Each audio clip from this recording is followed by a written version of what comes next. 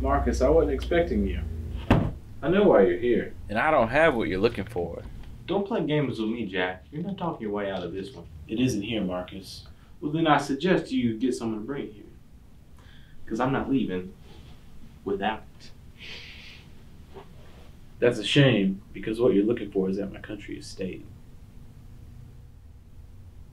Correct me if I'm wrong. You came to me, chin up in the air like you like to have it, right?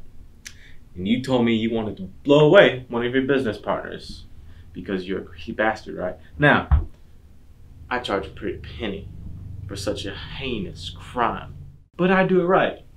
And you still owe me that penny. So, when I ask you where it is, the answer I'm looking for is in this room.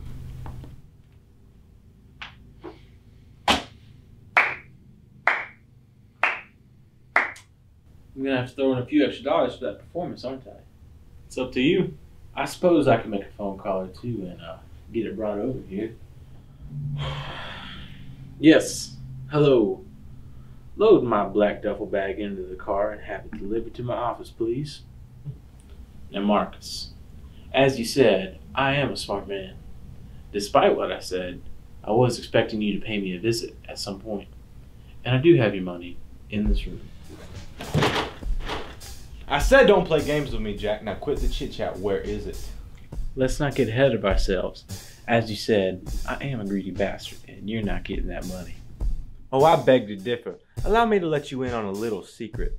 On my way to your office, just a few moments ago, I planted a few surprises. A few explosive surprises. I didn't come alone today either. A good friend of mine is out there with the trigger. Anybody approaches the building, boom. Anybody walks out with money who isn't me, boom. This friend of yours, uh, he outside? Yes, indeed. And, uh, blue jeans and a purple shirt? That's him. I have won. I have the upper hand. Hand it over.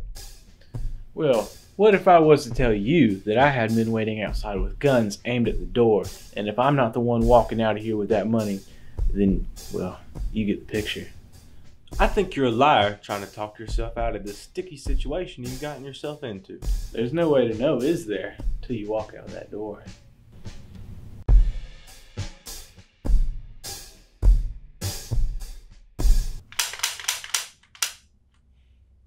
I'm always one step ahead.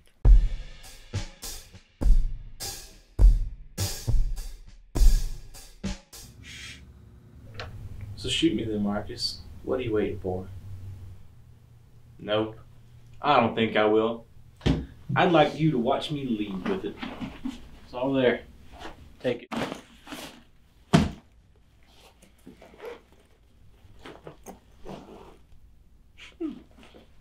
Sir.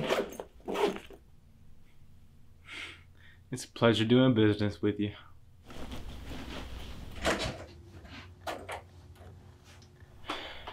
You always let your arrogance get the best of you, Marcus.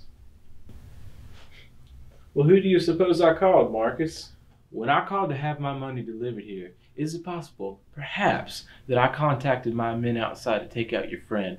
Is it possible, perhaps, that you have been outsmarted?